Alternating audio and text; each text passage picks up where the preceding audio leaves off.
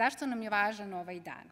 Ne samo zbog toga što je 9. maja 1946. godine zakonom uspostavljeno vođenje matičnih knjiga na celoj teritoriji Republike Srbije, već i zato što želimo da ukažemo na značaj matičarskog poziva.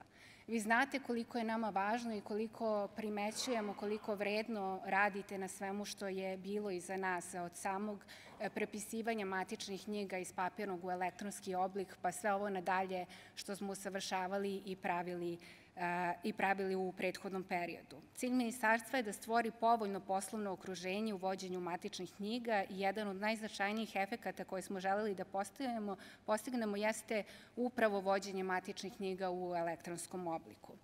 Želela bih da se zahvalim i kolegama iz Ministarstva spoljnih poslova, jer je elektronskim povezivanjem diplomatsko-konzularnog predstavništva sa registrom matičnih knjiga omogućeno da našim građanima u inostranstvu obezbedimo lakše i brže ostvarivanje prava.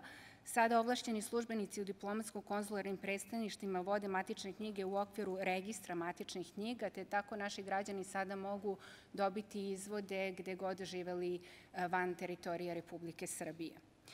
Digitalizacija je ključna za celokupnu reformu javne uprave i omogućava da institucije postupaju efikasno, a istovremeno olakšava i rad službenika.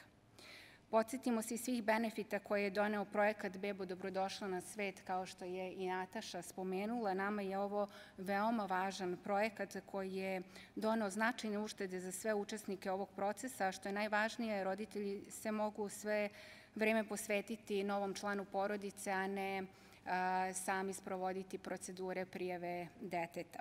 Danas govorimo o 307.325 beba koje su elektronski prijavljene i upisane u matičnu knjigu rođenih, što je svakako impozantan broj i ovaj projekat je primer najbolje prakse u stvaranju moderne i efikasne uprave.